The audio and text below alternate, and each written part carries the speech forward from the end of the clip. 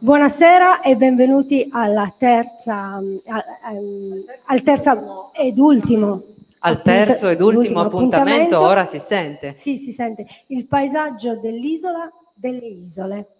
Eh, che dire, stasera ci saranno delle piccolissime variazioni perché il Covid purtroppo si è fatto presente con qualcuno dei nostri ospiti, ma noi siamo eh, prontissime a, con delle sostituzioni che sono eh, pregiate. Noi siamo vaccinate alle sostituzioni pregiate.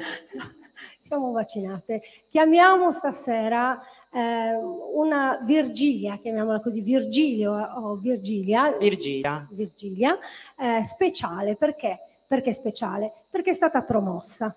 È stata la nostra Virgilia eh, ed è ritornata e diamo la parola alla nostra Valentina Savona.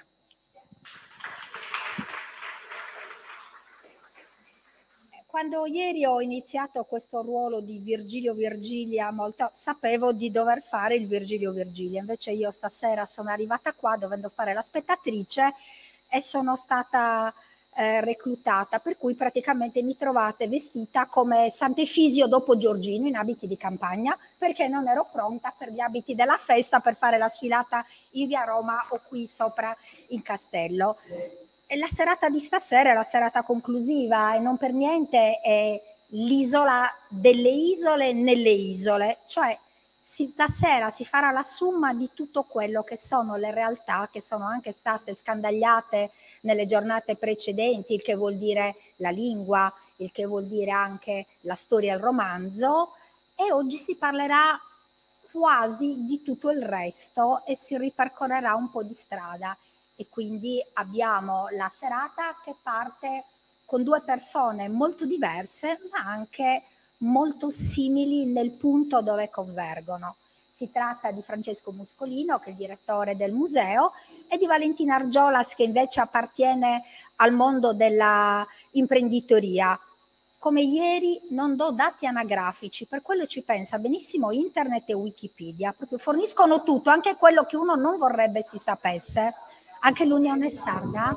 Ecco.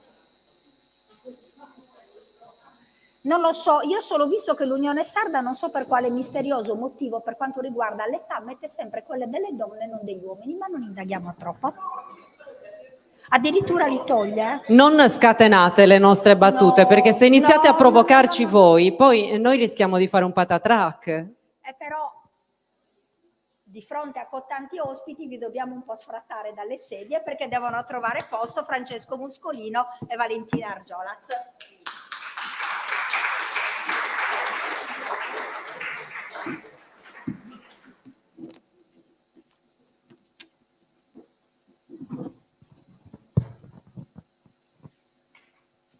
Buonasera a tutti. Allora, questa sera sono stato reclutato in quanto anch'io isolano, diversamente isolano, eh, perché il tema è estremamente interessante, l'isola delle isole, perché il Mediterraneo è un mare pieno di isole, in cui però riconosciamo sempre delle isole madri, possiamo dire. La Sardegna, isola madre rispetto ad altre isole, la Sicilia, isola madre rispetto ad altre isole e poi altre isole importanti come Cipro, Creta, ma in alcuni casi eh, non sono soltanto le dimensioni dell'isola che la rendono madre rispetto alle altre, Pensate, per, pensiamo per esempio al mondo Egeo, in cui l'isola madre è una delle più piccole che è Delos, ma è madre per il suo valore simbolico importantissimo, luogo di nascita niente meno che di Apollo e Artemide. Eh, le Cicladi appunto derivano anche il loro nome dal fatto di essere intorno, in giro rispetto eh, a Delos, luogo peraltro da me amatissimo, dove ho potuto anche in passato lavorare. E, oltre alle isole in senso fisico abbiamo anche le isole in senso linguistico e letterario e nelle, in queste serate che sono state, ritengo, estremamente stimolanti, eh, sono stati esplorati alcuni esempi delle, eh, di queste isole eh, simboliche.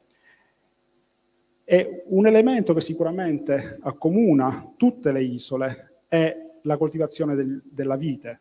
Questa è una cosa che colpisce anche in isole eh, piccole oppure mh, magari non estremamente, non alla, a prima vista almeno, non fertili.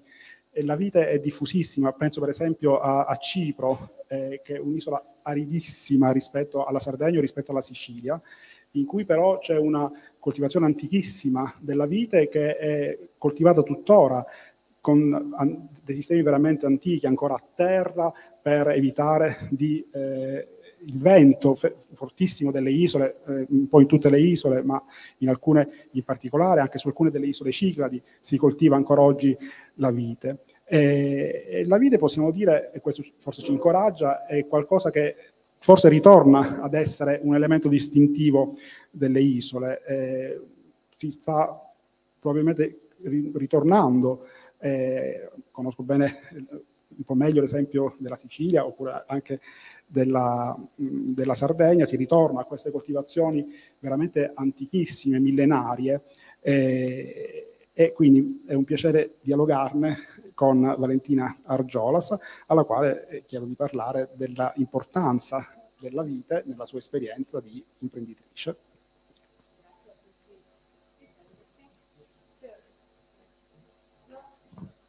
Ok, ok, ok. Eh, grazie, questa, questa, connessione di isole è, è, molto interessante. A Sardegna un po' abbiamo una, una storia particolare, unica, difficile, sofferta e sofferente, forse è questo che ci rende, io dico sempre quando racconto la Sardegna, unici rispetto ad altri territori del mondo, perché abbiamo questa fortuna tramite il vino di poter viaggiare, Questo, questa insularità quindi non ci pesa, ma la vediamo sempre come una risorsa è come una ricchezza. E quando raccontiamo insieme ai nostri colleghi, anche siciliani, ho visto adesso, oppure altri delle altre regioni italiane, la nostra storia partiamo sempre da dove siamo, naturalmente, perché mai darlo per scontato, perché molti veramente non sanno neanche della nostra esistenza.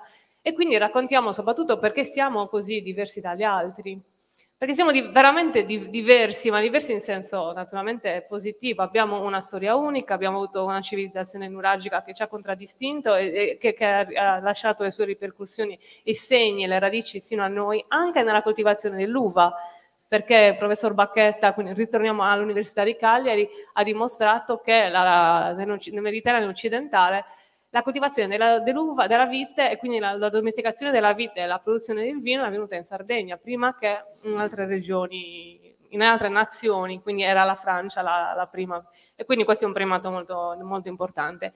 Quindi per raccontare il vino, naturalmente, siccome la storia della Sardegna del vino è unica rispetto ad altri territori, ad esempio io parlo di Sicilia perché è quella che conosco un po' meglio rispetto ad altre, e quando la Sardegna del vino è rinata, che sono gli anni 80, eh, rinata dopo una serie di, di, di problemi, di, di, scandali nazionali, di problemi di finanziamenti europei per estirpare, eh, molte realtà isolane hanno abbandonato un settore che comunque non era più redditizio. Eh, la coltivazione della vite anche allora era però basata su, quasi esclusivamente su vitigni tradizionali e questo già ci differenziava dagli altri. Altre regioni, nel momento della cambiamento del mondo del vino italiano, che quella, in quel periodo, hanno iniziato ad investire coltivando soprattutto varietà internazionali e quindi ritorno qui in Sicilia, ma anche eh, tanto la Toscana, altre regioni più importanti eh, numericamente, dico non come, come, qualità, ma numericamente in termini di numeri di produzione di vino, hanno iniziato a impiantare varietà internazionali, diventando anche abbastanza conosciuti all'estero.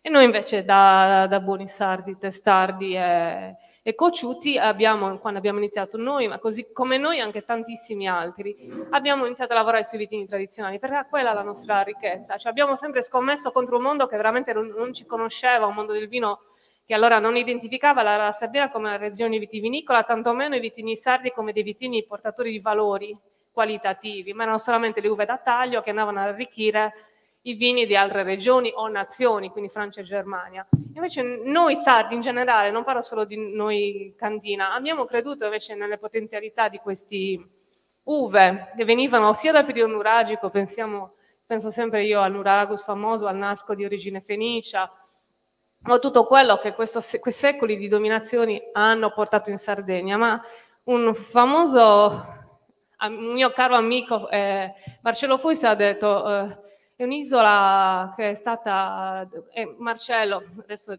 torno un po' indietro negli anni e c'era anche testimone Daniela Zeda qui davanti a me, davanti a un divano a casa di, in Viacola di Rienzo di Antonio Maras, quattro, tre personaggi che hanno cambiato il modo di leggere la Sardegna nel mondo, che sono Antonio Maras per la moda, Marcello Fois per la letteratura e Paolo Fresu per la musica, eh, ci siamo uniti in un progetto per raccontare il nostro vino, per celebrare un anniversario importante e ognuno di loro ha raccontato, cioè una giornalista ci ha fatto questa domanda, ma, ma perché voi quattro, cosa c'entrate l'uno con l'altro? Non c'entrate apparentemente nulla. Io ho detto non è vero, c'entriamo tantissimo. Innanzitutto per la nostra visione di questa insularità che è ricchezza, però è anche bisogno di uscire, quindi bisogno di avere una valigia pronta continuamente, questa è una cosa che mi ha trasmesso, penso, mio nonno e, e per, per, cui ho sofferto di più in pandemia, questo di non poter avere la valigia e per andare a raccontare, ma anche a farmi insomma, influenzare e contaminare.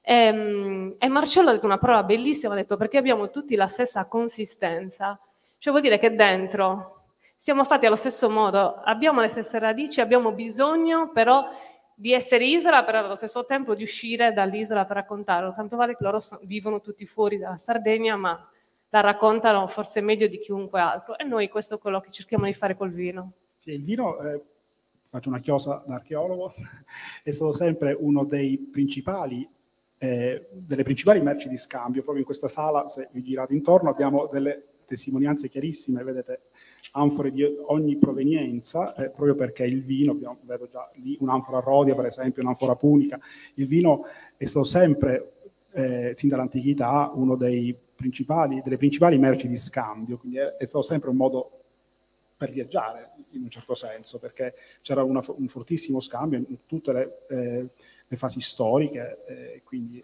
sicuramente il vino è stato sempre uno strumento di, di, viaggio, di conoscenza reciproca, di scambio di tecniche, anche di saperi tra un'isola e l'altra, tra un popolo e l'altro. Quindi eh, grazie.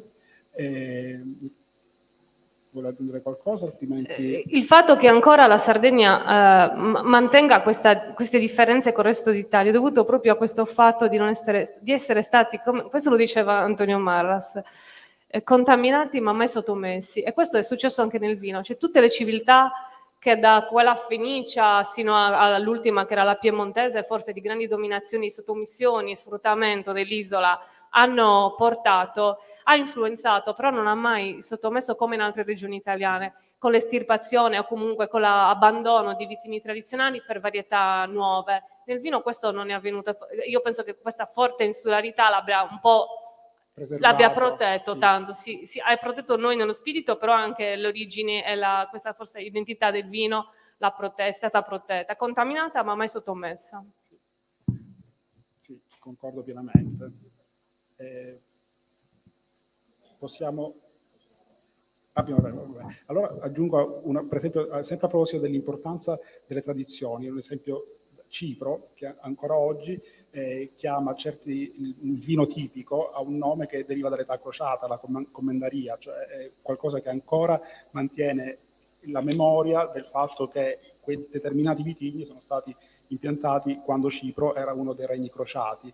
Eh, quindi sicuramente eh, in Sicilia forse è una realtà abbastanza complessa, ci sono state forti contaminazioni, soprattutto penso all'Ottocento, quando eh, soprattutto per l'influenza inglese si privilegiarono certe varietà, penso al Marsala per esempio, rispetto ad altre, quindi forse è stata è una realtà che per quel poco che la conosco diversa dalla Sardegna, che ha, man- sì, sì. È, è, ha mantenuto meno, almeno in determinate zone, le sue varietà tradizionali. L'ha credo. mantenuto meno e l'ha riscoperto dopo. Dopo, esatto. Quando la Sardegna già lo faceva, quando la Sardegna ha scommesso sulle varietà tradizionali come varietà capaci di portare valore non solo a noi stessi, non solo a vini degli altri. La Sicilia continuava a impiantare internazionali, solamente negli ultimi dieci anni circa, principalmente con il fenomeno dell'Etna, esatto. quindi con la riscoperta di quella zona vulcanica unica che è la zona che i vigneti che crescono intorno all'Etna, la Sicilia è ritornata un po' alle origini, investendo molto sui vitini tradizionali, sulle DOC, sulla riscoperta, però un passaggio, un passaggio che ha fatto successivo alla Sardegna, soltanto che loro sono tanto bravi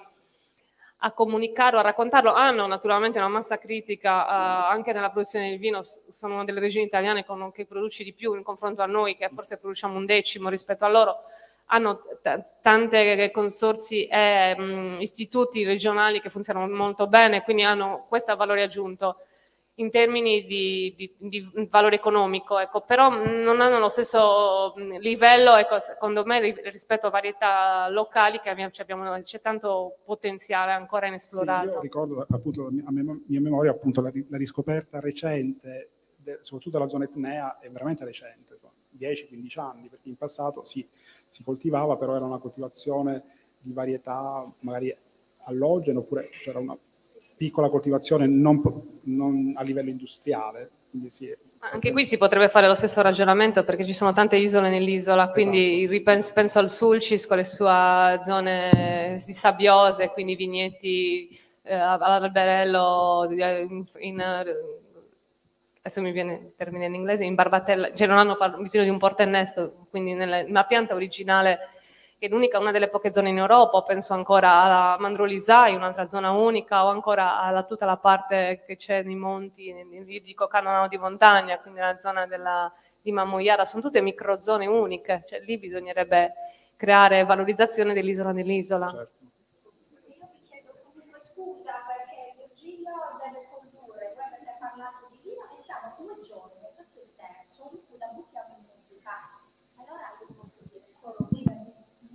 E li diamo degli exami. A questo punto vi devo salutare con un brindisi ideale e ringraziarvi. E è solo Virgilio, Virgilia non si capisce più niente, ma pure Virgilio è stato soppiantato a un certo punto da Beatrice e io, queste sono le cose Beatrice, ci do per la seconda parte della serata. E noi dobbiamo chiedere una cosa però.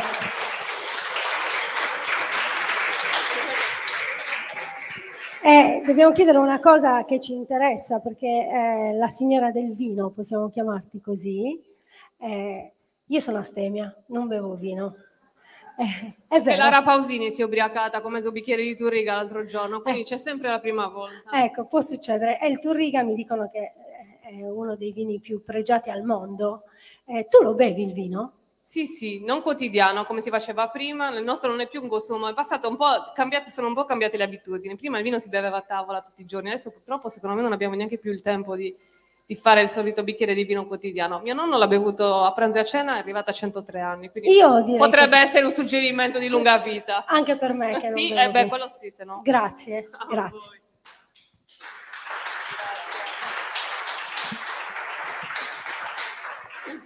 Bene, Ora, come sapete, noi eh, siamo qui per eh, rendere tutto quanto più frivolo, chiaramente. Siamo state chiamate per questo perché alcuni, soltanto alcuni naturalmente di voi, potrebbero non sopportare il livello culturale di questo evento.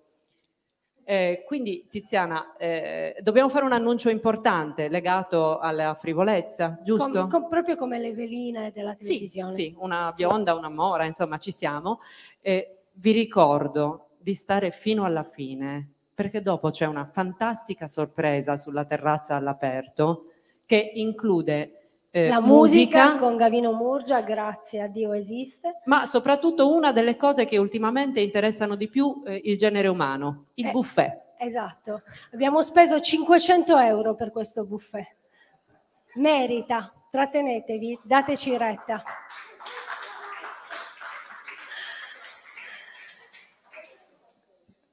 E se di isole parliamo, di isole leggiamo.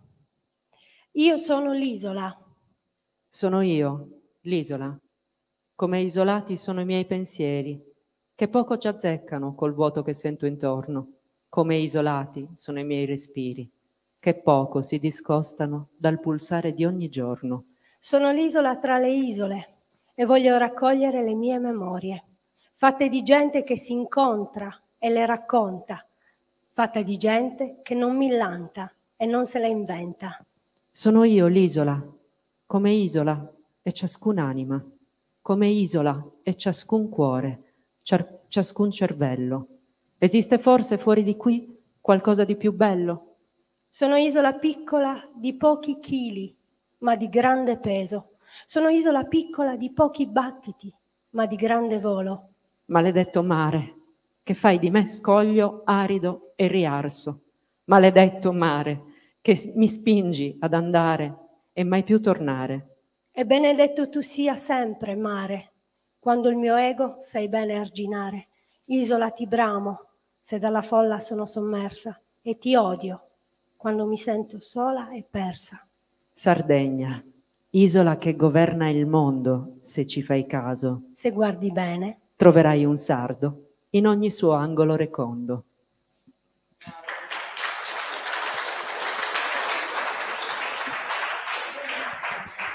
Dai, Tiziana, cos'è? L'ennesima canzone, vero? Chi l'ha scritta? Giovanotti, la Tatangelo, chi l'ha no. scritta? Dai.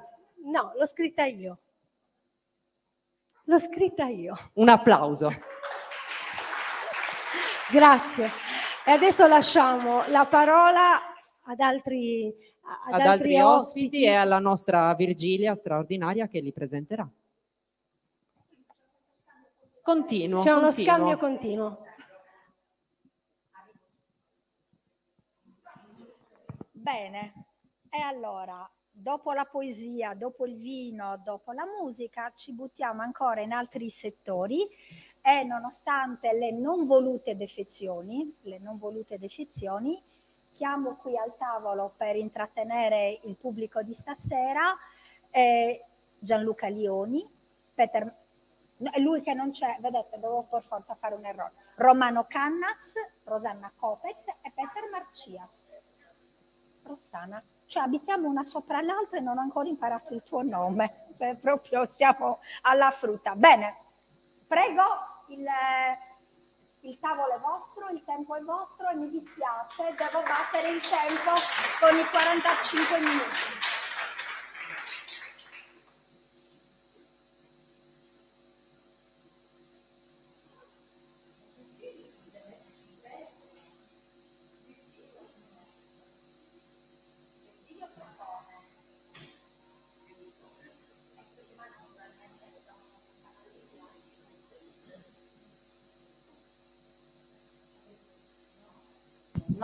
Si sente? Sì. Sono onorata di questo bellissimo eh, evento che è tutto merito, quasi tutto, perché c'è anche il nostro direttore del museo e i curatori, ma eh, Maria Antonietta Mongiu non dorme e sta sempre pensando, facendo, elaborando, escogitando piani su tutto tutti i livelli, a tutti i livelli della cultura, la più ampia. Per cui sono eh, contenta e fiera di essere anch'io stasera in questo consesso. Io vedo a fianco a me Romano Cannas che ha un sacco di fogli e io sono un po' spaventata, cioè addirittura anche un libro. Peter, frase di Javi Jacobelli, non voglio anticipare l'argomento che serve il microfono. Ecco, eh, allora, perché io e Peter siamo così, un po' No, non spaventatevi. Eh, il libro non mi serve soltanto per uh, una citazione che farò, per uh, la citazione di Javier Jacobelli, che forse i meno giovani ricordano, che è stato non soltanto uno dei protagonisti di Radio Sardegna, ma è stato anche uno che eh, ha fatto la storia della RAI anche del servizio pubblico. Quindi non spaventarti, Va bene. questa citazione. Ci tranquillizziamo, Peter. Allora, io vorrei partire proprio dal titoli. Paesaggi, perché ci sono tre concetti in questo titolo. Ci sono cioè il paesaggio, l'isola e l'isola delle isole sono tre concetti a cui io cerco di attingere così per raccontarvi qualcosa, perché raccontare è bello. Perché voi pensate che ognuno di noi torna a casa la sera e qualcuno gli chiede cosa hai fatto oggi? Raccontami com'è andata la tua giornata. Cosa vuol dire questo? Che abbiamo voglia di storie, che qualcuno ci racconti delle storie. Questa nostra isola, per quanto riguarda storie, ne ha tante sono molto nascoste, sono state nascoste per tanto tempo. Nascoste nel senso che abbiamo alle spalle una civiltà nuragica che ci ha fatto un grande dispetto. Non ci ha lasciato due parole, non ci ha lasciato scritto niente. E allora ci ha dato però dei segni, ci ha lasciato tutti i beni che noi vediamo, materiali, quelli che vengono chiamati materiali, che hanno in sé anche l'importanza del bene immateriale. Cosa vuol dire? Ci hanno lasciato nuraghi, i prenuragici ci hanno lasciato le domus de Janas e tutto ciò che voi conoscete appartenente all'epoca nuragica. Ecco, in che cosa consiste questa scommessa e questo dispetto nello stesso tempo della serie? Interpretate, cari sardi di un domani. Oggi cosa accade? Che a, questa, a questo mutismo, a questo silenzio dei nuragici, i sardi come stanno rispondendo? Scrivendo, scrivendo, scrivendo storie, interpretando, pensando, escogitando, dando significati, leggendo simbolismi in tutto ciò che, in cui noi viviamo. Perché il paesaggio più importante per me, e non solo per me, i paesaggi più importanti sono i paesaggi fantastici. I paesaggi fantastici che arricchiscono quotidianamente il nostro vivere e che ci incuriosiscono e creano tante storie perché sono intrisi di sacro. Sono tutti intrisi di sacro. Voi pensate che il sacro, non il santo, eh, ma il sacro è legato strettamente all'essenza culturale di questa terra, che può variare, però in questo sacro ci sono tutta una serie di personaggi. Ci sono dei personaggi che fino a non molto tempo fa non erano conosciuti in tutta l'isola. Io eh, mi vanto, scusate, mi vanto di aver tirato fuori esattamente 44 anni fa le leggende e le fiabe dai cassetti polverosi dell'Università di Cagliari. Allora la ricerca in quel campo era solo legata agli etnologi e agli studiosi di tradizioni popolari, assolutamente cose illeggibili ai più Ecco, quindi quando, pensate, quasi 44 anni fa, io stavo lavorando insieme a colui con cui io poi ho fatto questa produzione, a Sergio Azzeni, e stavamo lavorando in un mondo fantastico perché io ero incinta e quindi il sacro ce l'avevamo proprio dentro di noi. E allora cosa succede?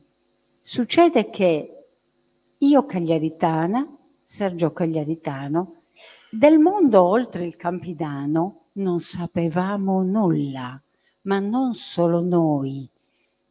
La maggior parte, anzi direi quasi il 90% dei sardi non sapevano, non conoscevano nulla Per cui io stessa, frugando in questa raccolta del bottiglioni, che lui sì che aveva frugato e sapeva, ed era un linguista, era un glottologo, e andava in giro per la Sardegna a farsi raccontare leggende, però il suo intento era linguistico, per cui annotava la storia e lui scriveva in grafia fonetica ciò che gli veniva raccontato, materiale, illeggibile.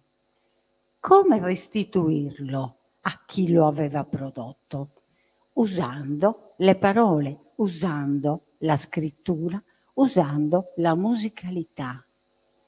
Quindi abbiamo pensato chi saranno stati i destinatari di queste storie. E io che avevo un po' letto l'Aries, l'Aries forse perché è un francese, e, e sapevo che non esisteva ancora ai primi del Novecento la categoria dell'infanzia. I bambini erano soltanto adulti non cresciuti ancora, per cui le storie non venivano raccontate ai bambini, non è vero questo, quando si dice intorno al camino o nelle cariredde delle serie d'estate, non le si raccontavano ai bambini, ma agli adulti, i bambini venivano addirittura cacciati. Loro naturalmente, come tutti i bambini, ascoltavano di nascosto, per cui ne godevano anche loro. E allora abbiamo fatto questo lavoro di restituzione e lì ho cominciato a conoscere il fantastico e il sacro della nostra isola. Le Gianas, Sadome Sorku, voi immaginate come personalizzavano anche un bene come una costruzione. Sadome Sorku, dicevano i, i miei alunni quando giovanissima insegnava per Dajus, lì c'è Sadome Sorku. È, è veramente da stare, da restare senza parole. Ancora le pietre, le pietre parlano. Questo è un altro, un altro tema che io ho affrontato questa volta non con mio marito perché non c'era più, ma con Tonino Opes, che Romano Cannas conosce molto bene, e, e, tutte queste pietre che abbiamo, antropomorfe, zoomorfe, nei paesi di appartenenza, qualche paese soltanto conserva la leggenda, la maggior parte no. Allora io e Tonino Opes cosa abbiamo fatto? Abbiamo interrogato le pietre e ci siamo fatti raccontare la loro storia dall'elefante, dal vecchio di Macomer, dai sette fratelli e così via, percorrendo tutta la Sardegna, perché ci piace ascoltare storie. Tu che cosa ne dici, Peter? Che le racconti attraverso l'immagine? Posso? Posso fare ciò?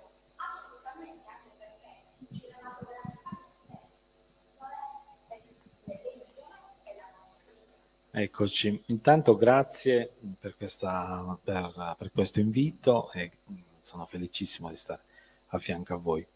I registi solitamente parlano per immagini, dunque non so se poi riescono a, eh, dire, a sottolineare quello che, quello che filmano, quello che...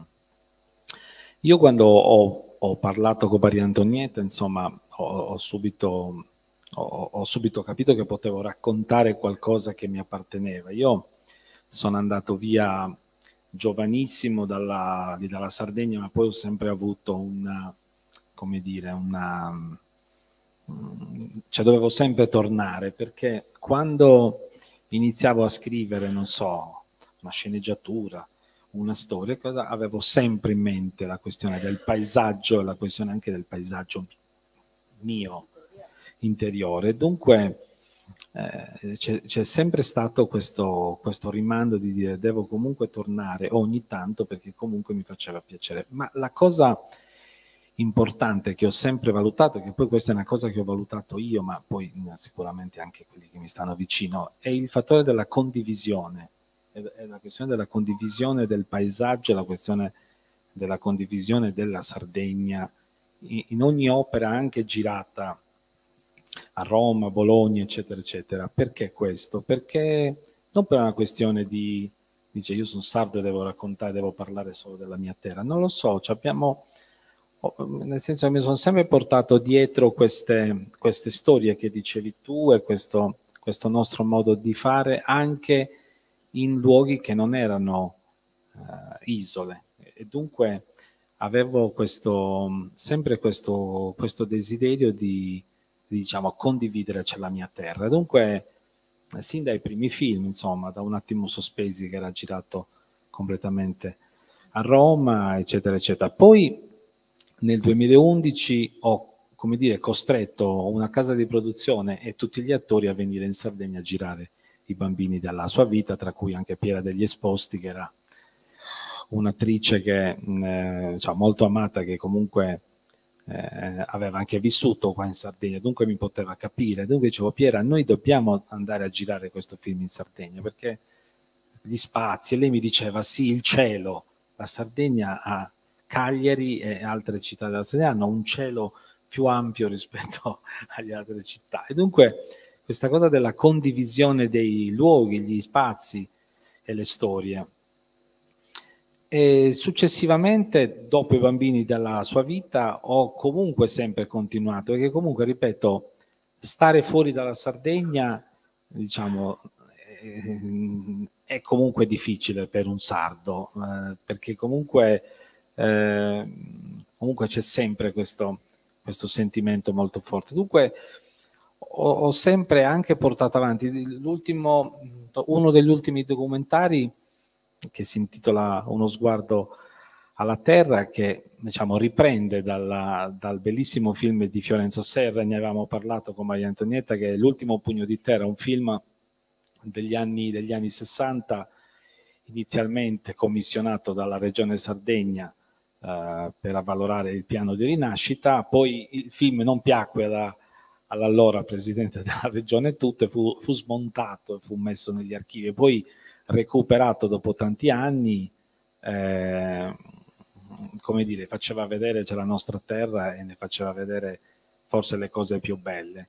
E dunque pure lì, condivisione, ho pensato, no, devo prendere questo film e portarlo in giro per il mondo. Non, forse non aveva senso quella cosa, però per me sì, era un, un po' prendo questo paesaggio dell'isola, delle isole, insomma, mi, mi, cioè, mi sentivo che dovevo portare quel film, quella Sardegna che non c'è più, in giro per il mondo e farla vedere ai grandi registi documentaristi, da Brillante Mendoza nelle Filippine a Wang Bing in Cina, tutti i registi che vincono chi la Palma d'Oro, chi le, il Leone d'Oro, eccetera, mostrare quel film, mostrare c'è la mia terra e discutere con loro di che cosa vuol dire cinema documentario, terra, paesaggio, popolo, eccetera, eccetera. E, e diciamo pure lì un, una grande riflessione che mi è, che, che, insomma, mi è cara. E, un'altra cosa molto importante, e lì Fiorenzo Serra a, aveva raccontato una Sardegna veramente cruda, cioè non, non si era,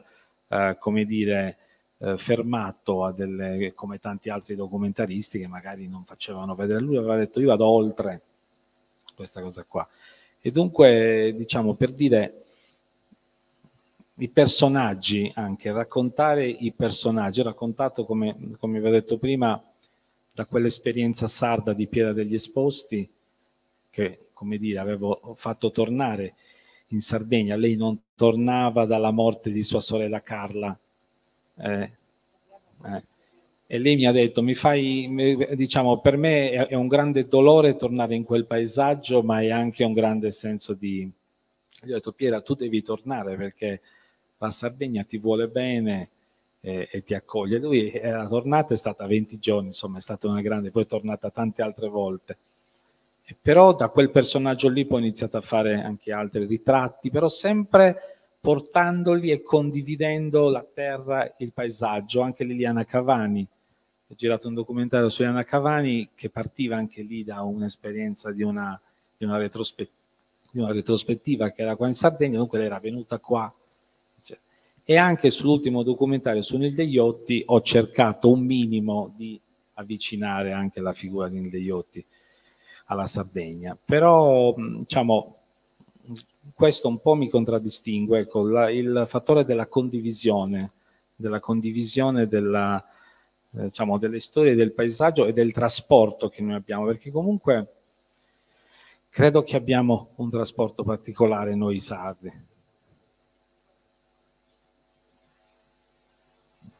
Ma diciamo che no, loro non è che percepivano negativo, cioè eh, eh, Piera aveva un brutto ricordo che era la morte di sua sorella e dunque associava la nostra terra alla morte della, della sua. Aveva dei bellissimi ricordi, ma poi li aveva poi negativi. Gli ho detto no, devi, devi saltare, devi, devi saltare questa roba perché la, insomma quella terra ti vuole bene e lei allora ha detto benissimo, vengo, faccio questo sforzo, poi lei stava anche male, già da, già da tanti anni stava male.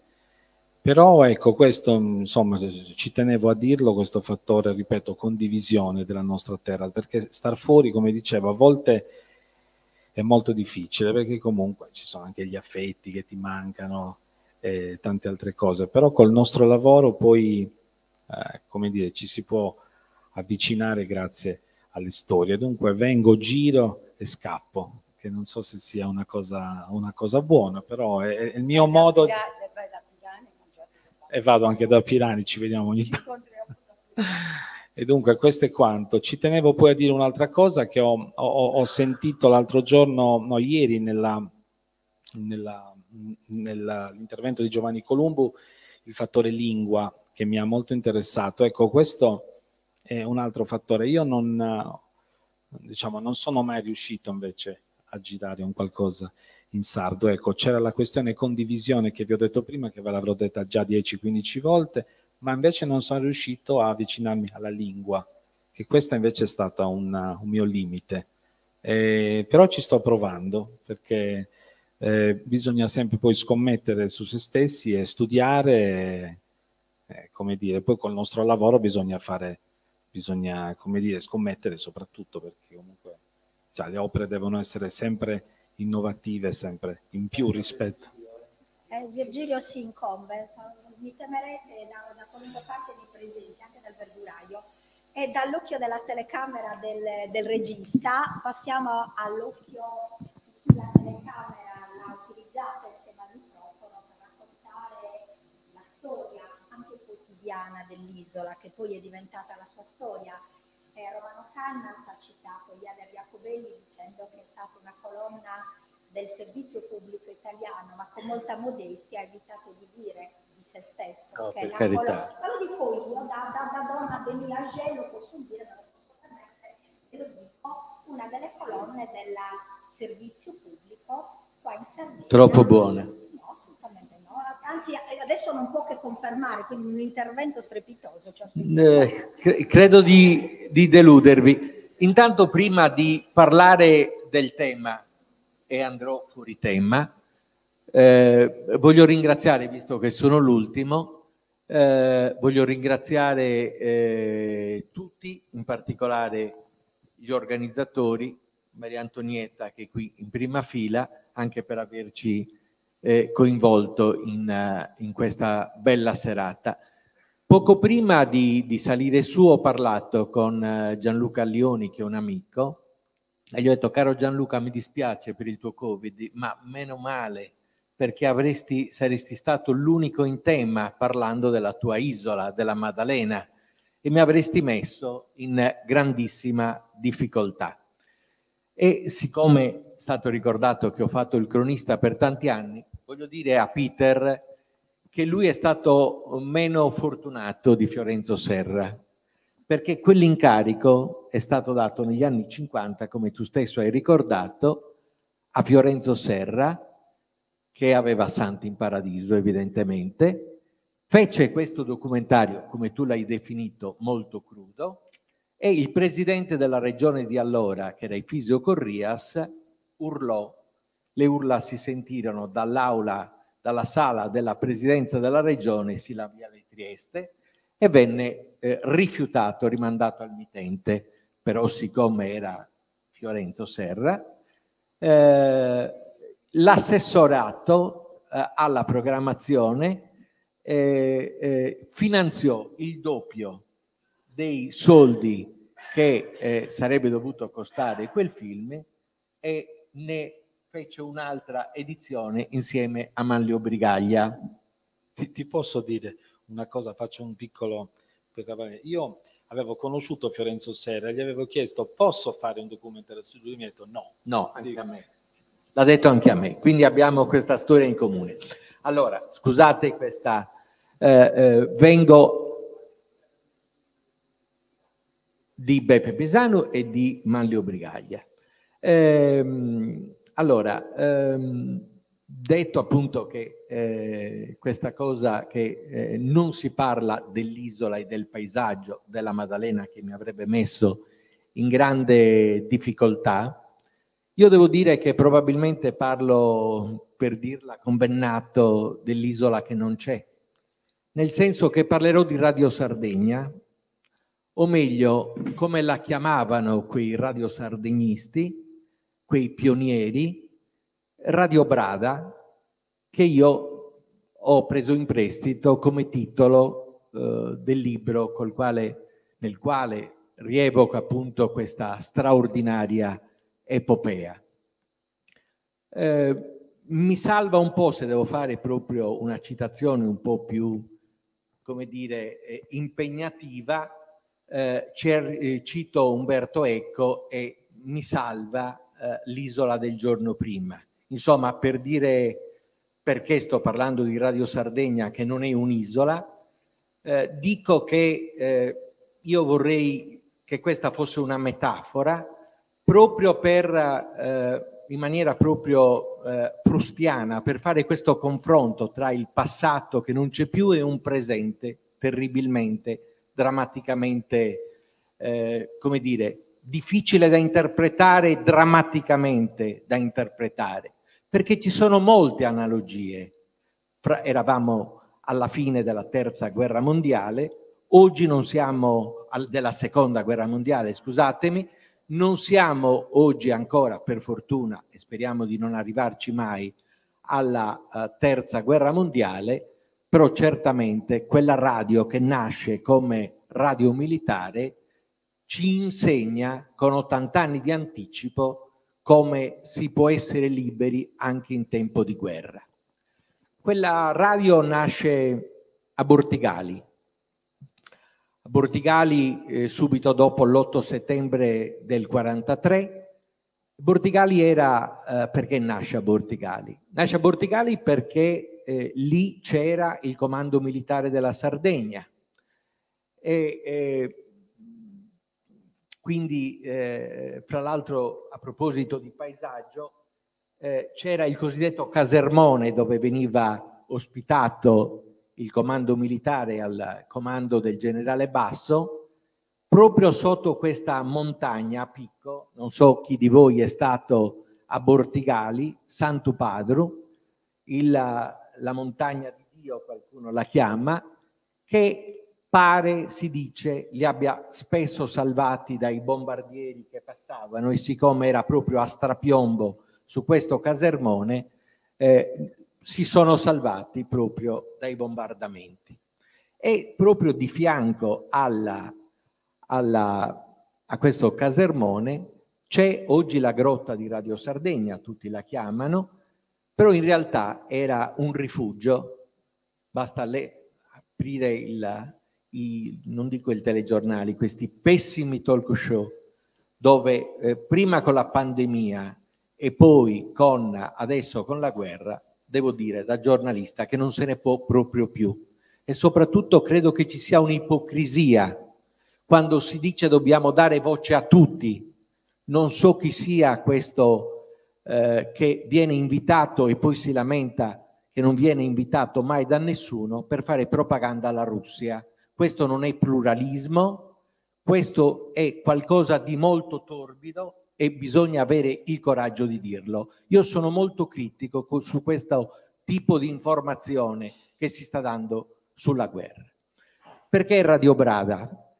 Radio Brada perché era libera e perché probabilmente questi pionieri che erano lì appunto nel casermone vedevano in questo altipiano che degrada verso la Carlo Felice, dove ci sono alcuni paesi presepe, li chiamo io, poche centinaia di anime. Lei eh, Dualchi, eh, Birori, eh, dove vedevano questi cavalli eh, alla, al trotto senza, senza padrone, senza fantino, senza briglie soprattutto, e quindi erano liberi. Come nasce questa, questa, questa radio? Quasi per caso. C'erano ormai gli ultimi tedeschi che capiscono che ormai non è più aria e quindi decidono di scappare, scappare durante la notte proprio per raggiungere Palau, la Maddalena e poi dirigersi verso, uh, verso la Corsica perché capiscono, ripeto, che per loro è diventato difficile. Non fanno in tempo a distruggere due potentissime radio ricce trasmittenti, le cosiddette, le famose ormai R6, che poi vuol dire soltanto la sesta eh, edizione di una radio molto potente, radio, perché c'è l'R1 e sino a R6. Io avevo tentato anche di portarne almeno una e fare il museo della radio qui in Sardegna, magari proprio nella grotta eh, di, eh, eh, di, di Bortigali, però il comando militare, forse anche giustamente, è stato molto severo dicendo no, è roba nostra e anche noi abbiamo il nostro, il nostro museo. Eh, dico rapidissimamente anche un'altra cosa, per essere precisi da un punto di vista della cronaca. In realtà non inizia subito dopo l'8 settembre. C'è una disputa con Radio Bari, che era una delle emittenti dell'EIAR, la radio della propaganda fascista, eh, che dice no, ma abbiamo iniziato prima noi, ma per un fatto solo, come dire, tutto italiano. Nel senso che il sei note, loro vanno a letto finiscono le trasmissioni, chiudono gli studi da fascisti e si alzano la mattina da antifascisti. Quindi è trasformismo allo stato puro. Qui invece alcuni militari, alcuni ufficiali che si occupavano di trasmissioni, di ricce trasmissioni, eh, trovano queste, queste, radio, queste R6, trovano anche una radio potentissima, Radio Marelli, e decidono che si può fare una, una radio, ci provano. La parte dove sembrava che ricevesse meglio era lei, infatti in un primo momento trasferiscono questa radio a lei, poi la riportano a Bortigali. Devo dire l'inizio non è stato brillantissimo perché gli ufficiali mandavano eh, questi attendenti e dicevano andate in questi paesi vicini, allontanatevi un pochino e vedete se si riceve bene. Questi tornavano, battevano i tacchi e dicevano signor sì, tutto perfetto. In realtà all'inizio andò malissimo. Ci fu qualcuno che poi io ho ritrovato entrando in RAI molti anni dopo, Pepino Marras, che non era un esperto di... era un barbiere, però siccome quando tra una barba e l'altra, tra un taglio di capelli e l'altra, sentiva, ascoltava le lezioni dei, chi appunto degli ufficiali che davano lezioni, che spiegavano ai soldati il, i segreti della cosa, lui impara e eh, eh, rafforza la potenza di questa, di questa radio con eh, le scatole eh, di le scatole in ferro che contenevano la carne eh, americana arrugginita e ne faceva un potenziatore delle valvole di questa R6 e questa radio alla fine si riceveva non soltanto a lei, a Birori e in tutta la vallata del Margine, ma si riceveva praticamente in tutto il, il Mediterraneo e, e, poi è stata ulteriormente potenziata. C'erano anche, non, c'erano anche alcuni giornalisti è un mistero perché fossero lì, comunque erano militari. Eh, ricordo per esempio Armando Rossini, eh, Pio Ambrogetti, Vannini. Ecco, eh, eh, Rossini, Armando Rossini diventò proprio il direttore di Radio Sardegna, che come ricordava Iader Jacobelli Era una radio in grigio-verde, dal colore delle divise dei militari, e poi divenne subito, quasi subito, una radio a 360 gradi. Pensate, erano talmente moderni anche perché nel frattempo era stata, come dire, arrivarono i rinforzi dall'aeroporto di eh, Elmas, arriva eh, anche Iader Jacobelli, che era fresco di laurea in filosofia, l'avevano mandato a Elmas eh, come avviatore e capiscono che era più utile che andasse a fare, a dare una mano a questi pionieri e viene e lui racconta a proposito di paesaggio questo viaggio avventuroso da Cagliari a Bortigali, durata un'intera giornata con un carro, con un camion militare e il rifornimento eh, subito dopo Oristano avvenne con le taniche perché non avevano l'autonomia per arrivare. Erano modernissimi. Per esempio il cappellano militare, che era Monsignor Paolo Carta, divenne il, eh, fece una rubrica, una rubrica, eh, eh, una rubrica, sì, arcivescovo di Sassari, di, una rubrica eh, religiosa. Non solo, ma soprattutto facevano dei notiziari e poi arrivò subito dopo, ormai i tedeschi erano in rotta e gli alleati ormai avevano preso la situazione di mano e arriva questo responsabile della propaganda, ne arriva uno per la, RAI, per la radio e uno per i giornali. Gli altri erano molto severi. Questo in realtà lo chiamavano il maggiore D'Agostino, Guido D'Agostino, ma in realtà era uno scrittore di successo italo-americano che aveva appena pubblicato un libro dal titolo un po' eh, la, eh, Le ciliegie sull'albero delle mele, che aveva avuto un grande successo. E non solo non diceva state attenti, bisogna verificare, diceva siate liberi e si diceva infatti che quella radio aveva uno stile che rassomigliava più alla BBC, a Radio Londra, che all'EIAR, alla radio fascista. Ma questa esperienza dura poco. Dura poco perché da Bortigali si trasferiscono a Cagliari ancora in una grotta. I militari si trasferiscono in quelle che ci sono ancora, quelle case ormai occupate dai senza casa, diciamo così, davanti alla facoltà di lettere a Saduchessa e ancora in una grotta come a Bortigali a Tuvigeddu, che era lo studio da dove partivano questi, eh, questi notiziari.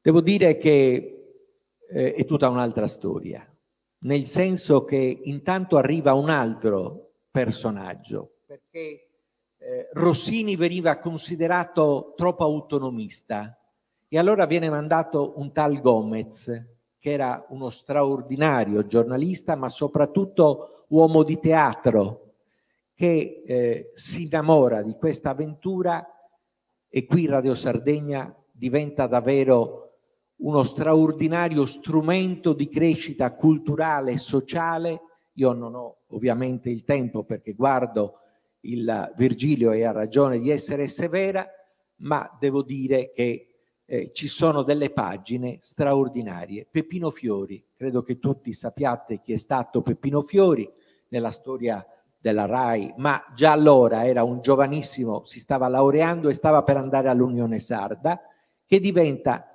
non soltanto, si riprende la vita, come sta succedendo come tentano di fare in Ucraina, anche i cagliaritani volevano riprendere la vita e Radio Sardegna diventa uno straordinario strumento di aiuto non soltanto economico ma soprattutto culturale.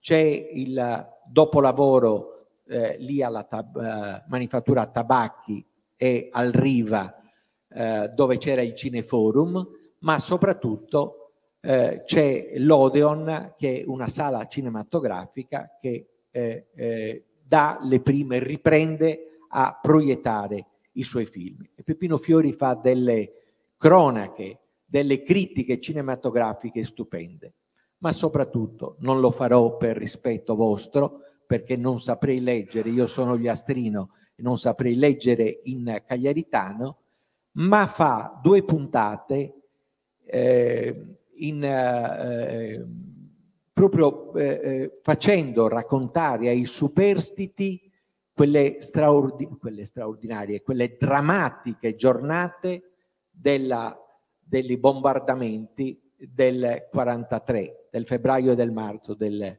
43. E ci sono delle, delle testimonianze memorabili. Per non dimenticare Mialino Pira. L'altro giorno sentendo eh, Maria Antonietta dialogare con uh, Bacchisio Bandino, mi sembrava proprio di ricordare quei reportage eh, di, eh, eh, di eh, Mialino Pira. E poi arrivo e chiudo, chiedo solo un minuto di pazienza.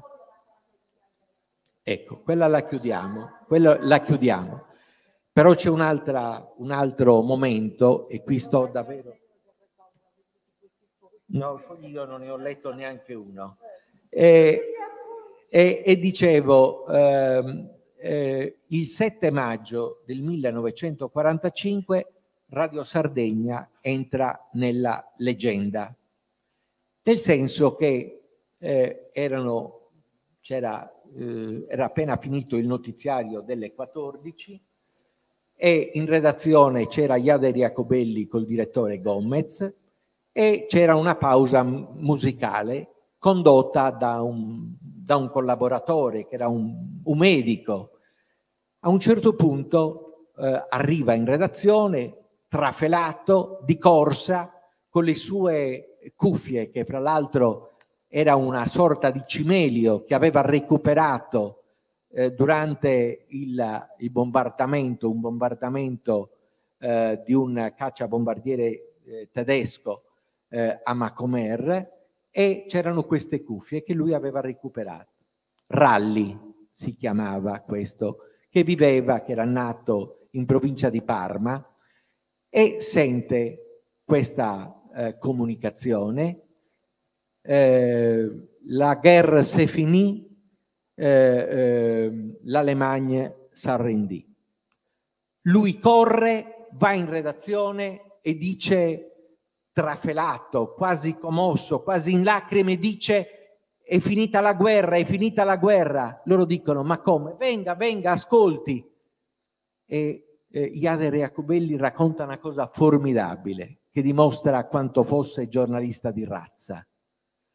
Anticipano di 23 minuti Radio Londra per un motivo molto semplice, perché Radio Londra deve subire i tempi della verifica della notizia, loro invece fanno un ragionamento, come dire, tecnico professionale, giornalistico e dicono se quella notizia non è eh, criptata, evidentemente i tedeschi non contano più nulla, non esistono più, si sono effettivamente arresi. 15 giorni prima, fra l'altro, si era suicidato eh, come? Hitler e quindi voglio dire eh, loro cosa fanno? Gomez prende il, il, lo speaker Antonello Muroni e dice vieni con me, vieni con me, dobbiamo annunciare la fine della guerra. E lui dice direttore ma io non ce la faccio, io non sono abituato, io leggo le notizie, non ti preoccupare, ci, verrà, eh, ci verranno le parole, ci verranno, stai tranquillo, andremo avanti per tutta la sera. E vanno avanti per tutta la sera in maniera modernissima, perché non danno solo notizie, che aggiornano continuamente grazie a Ralli e a Iader Jacobelli, che continua a intercettare altre notizie dalla Reuters e da altre notizie, ma fanno anche quello che si fa nelle maratone. Adesso questo termine è entrato, la maratona uh, della sette, quindi tutte maratone. La prima maratona l'ha fatta Radio Sardegna, nel senso che, che freme. La facciamo entrare immediatamente. Eh, eh, non c'è soltanto notizie, c'è spettacolo. Perché? Fra quei personaggi straordinari c'erano anche non soltanto giornalisti, non soltanto tecnici, c'era per esempio Freddy Buscaglione, che non aveva ancora la voce rocca, ma suonava il violino. E c'erano tanti altri personaggi che hanno fatto la storia della musica e eh, la sera hanno eh, fatto entrare nella leggenda Radio Sardegna, come è stato scoperto, ho finito, molti anni dopo, è il presidente del Senato, che allora era solo sedicenne, che racconta come ha scoperto il lasso di tempo che divideva Radio Sardegna da Radio Londra, perché lui nella pausa stava ascoltando, e prendo intanto Iader Iacobelli, e, e, e, e dice, sente, attenzione, attenzione, a voi che ci ascoltate, la guerra è finita. E quella cosa che, che, vi, che ogni tanto sentite, quella cosa è stata salvata da Radio Londra e la, la RAI l'ha recuperata e, e, e quella era l'annuncio della fine della seconda guerra mondiale con alcune ore di anticipo perché in realtà la fine della guerra è dell'8 maggio. Ho detto che avrei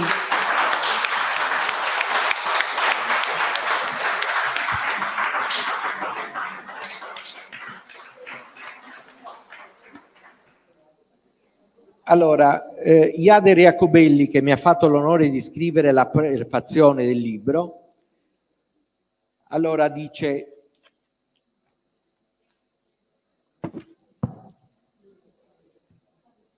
Allora, quella radio che doveva essere militare si guadagnò giorno per giorno l'appellativo di Radio Libera per l'autonomia di cui seppe fare buon uso e per il consenso del popolo sardo che accompagnò la sua crescita. La seconda che voglio dire è eh, che essa fu davvero una radio di servizio pubblico, nel senso autentico di rendere un servizio al pubblico, alle sue necessità spirituali e materiali, interpretando i bisogni della gente e verificando quotidianamente la corrispondenza fra domanda e offerta. Io devo infatti a quella singolare esperienza, lo ripeto sempre, se poi ho vissuto la professione di giornalista non come un credito, ma come un debito, non da protagonista, ma da delegato. Io l'appenderei in tutte le redazioni del mondo.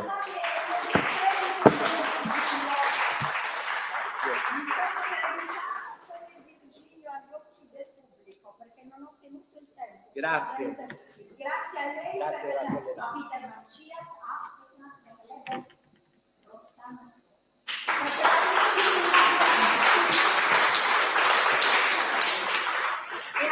devo chiedere alla professoressa Pizzorno e ai nostri gentili ospiti di cedere scena e alla professoressa Pizzorno di possessarsene.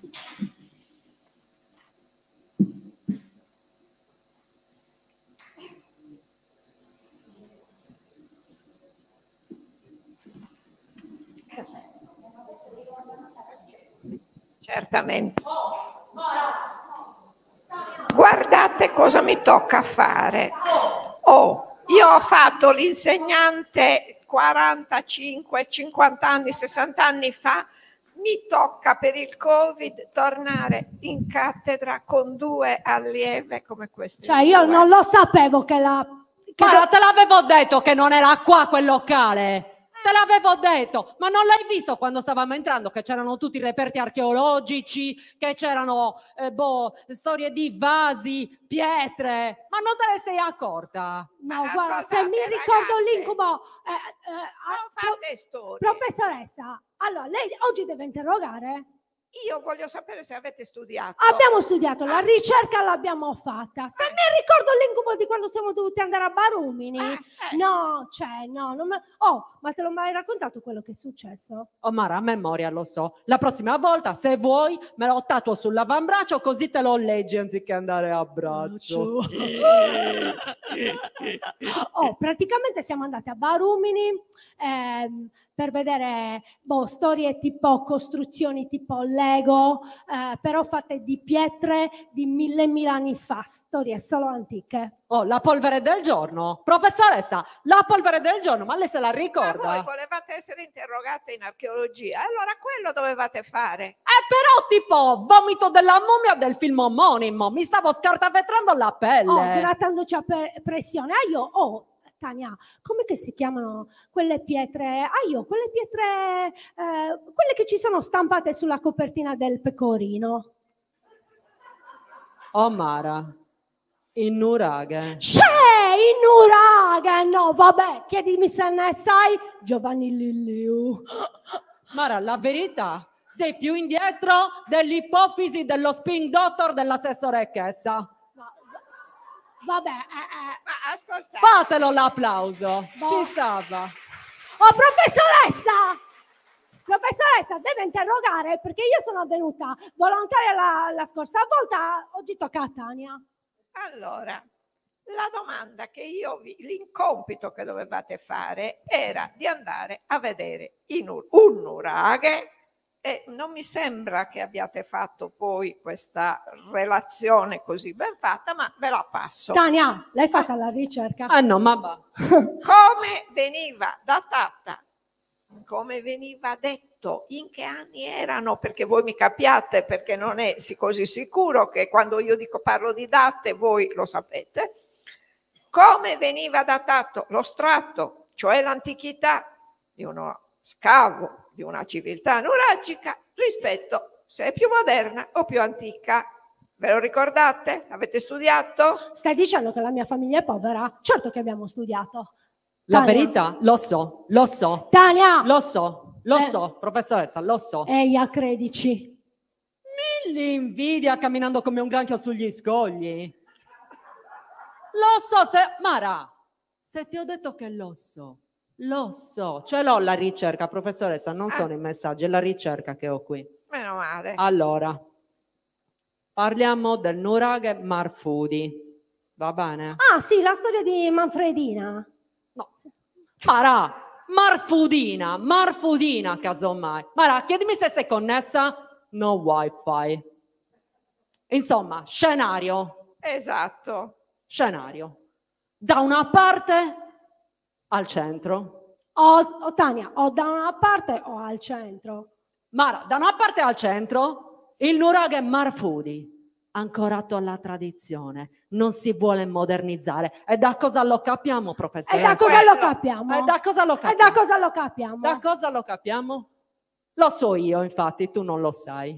Ha visto? Ma voi volete voto collettivo dopo o Lo vediamo ciascuna? dopo. Ah, Eh, pro- guardi che la mia amica è preparata, eh. Cioè, sta eh, dicendo che vabbè, non è- però Eh, se io il voto lo do anche a te. guarda Oh. che la mia pre- amica è preparata. E... Pesante la pizzorno, sta fisso provocando Oh. però. Ma che provocando? Lo volete, la volete questa, essere questa, l'approvazione di questa ricerca o no? Affermativo. Oh, chiedimi se è pesante una collana di angurie. Boh. Allora, da Allora, una parte, andiamo- al centro, il nuraghe Marfudi, Marfudi, eccoci qua. il nuraghe antico, dell'antico neolitico, ancorato alla tradizione. Da cosa lo sappiamo? E da cosa lo sappiamo? Lo sappiamo dalle ceramiche che sono graffiate a pettinino. Fai la traduzione per i non udenti? Graffiate a pettinino. Bravissima. Dall'altra, tutto intorno al nuraghe Marfudi, altri nuraghi appartenenti al neo-neolitico, più moderni, più all'avanguardia, che guardano all'Oriente. E da cosa lo sappiamo? E da cosa lo sappiamo? Dalle ceramiche, che sono stampinate a cerchielli. Cioè- la traduzione per i non udenti? A cannuccia. Così. Fatto. E insomma, queste, e queste due civiltà Queste due civiltà si contendono, si contengono la supremazia sul territorio. tipo Gomorra. Affermativo. Non è tanto sul territorio quanto sulle donne. Professoressa, però lei sta diventando puntigliosa. Eh? Ma proprio, cioè, cioè- mettendo proprio i puntini su lei. Ah, che molto! Comunque, appunto, professoressa, parlando di donne, alla fine cosa troviamo in questo nuraghe Marfudi? C'è, se mi ricordo, scavando così tipo Maria Antonietta Mongiu, No, vabbè. cosa Sì. abbiamo trovato? Oh, un bronzetto a gonna, a tacco e a treccine. Tipo Pocahontas. E chi era questo bronzetto?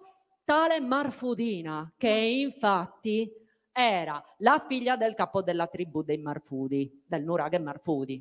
Ok? Allora, Marfudina a un certo punto, Com'era il babbo di Marfudina?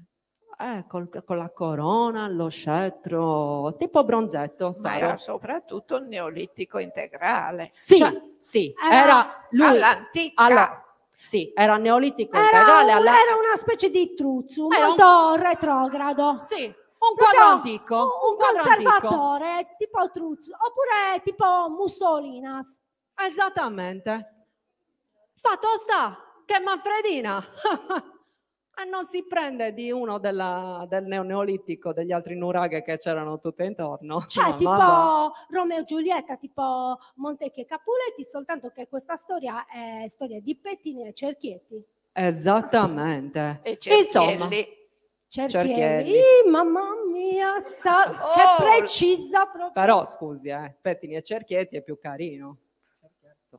Vabbè, c'aveva comunque- le trecce. lasciamo perdere, aveva, ha ragione. Eh, comunque, fatto sta, questi due non si infrattano, lei rimane incinta. Cioè! Eh no, è il capo tribù eh, del Nuraghe Marfudi.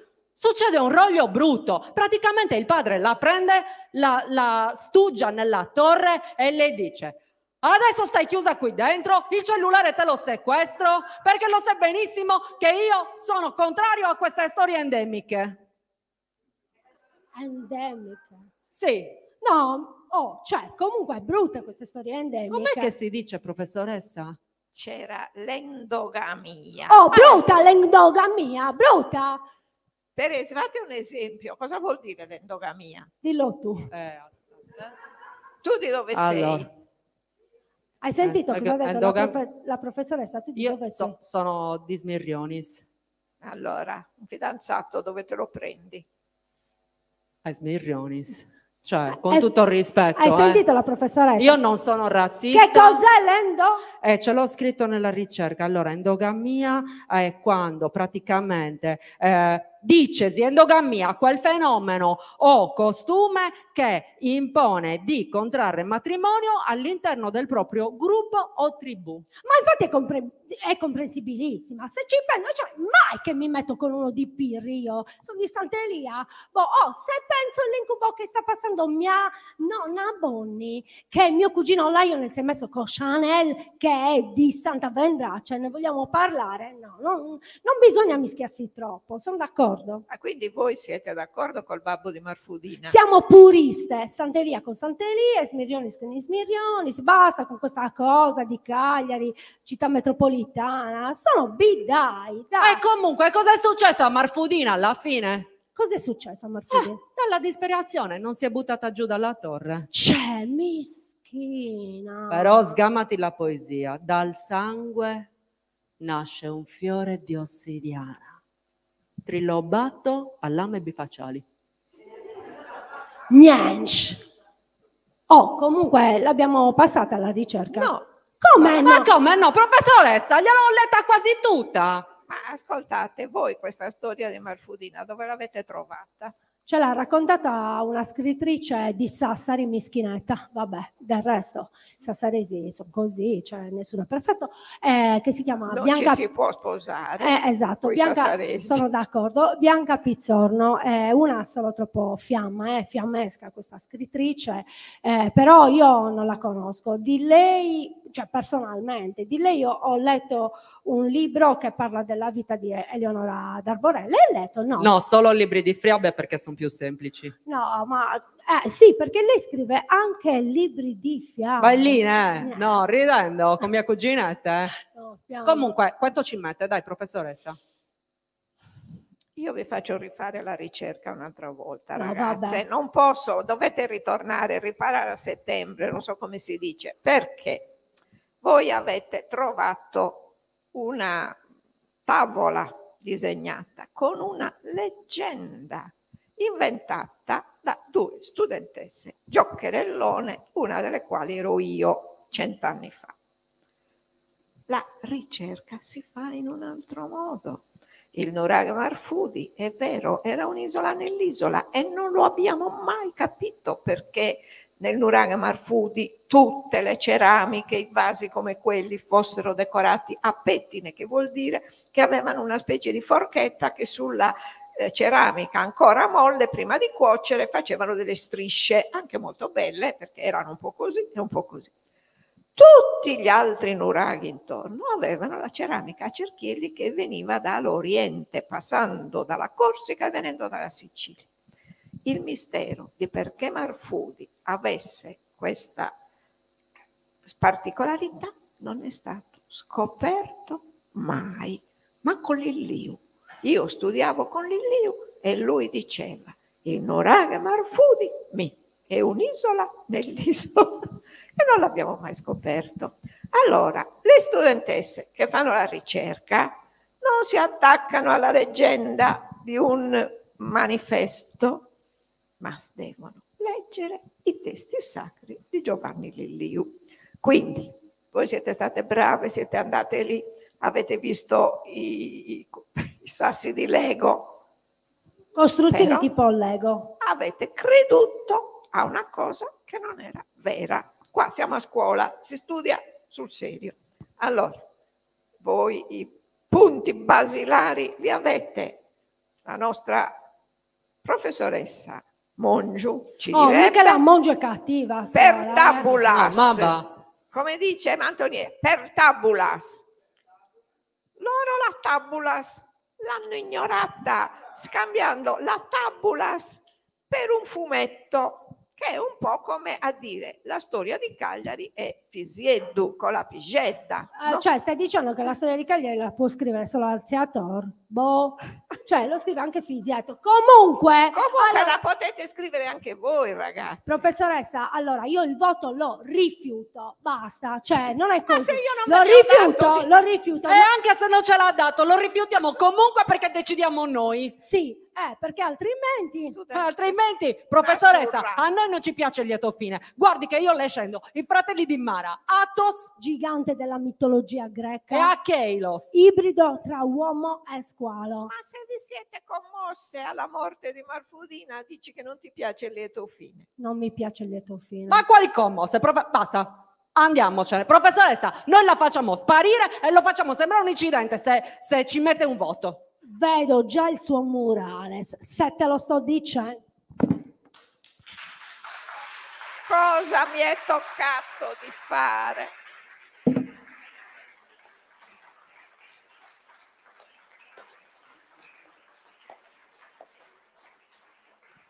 sono grandi queste ragazze, sono bravissime, promosse, 30 e lode, non so quanto si dia adesso, 100 centesimi.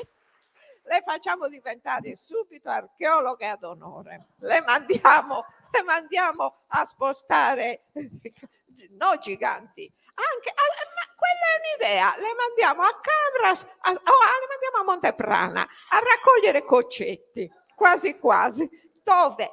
Ma voi ve l'immaginate se un concetto di Monteprama ci trova la decorazione a pettine o a cerchielli? Che già non ne capiamo niente e in più ci troviamo tutta la cronologia sballata. Catta. Però io ce le manderei. Grazie di averci ascoltato. E ho idea che stasera sia nato un genere, esattamente così come l'opera buffa è nata dagli intermezzi tra un atto e l'altro delle opere serie, io ho idea che stasera con questo siparietto finale possa dare il là ad un nuovo tipo di genere molto locale che ha, in, che ha concluso degnamente e intermezzato tre giornate molto serie e molto leggere pensate dal comitato per parlare di un'isola tra le isole, pensando che forse siamo l'isola delle isole, e cedo quindi la parola nel ringraziare chi è intervenuto a Maria Antonietta Mongi e a Francesco Muscolino.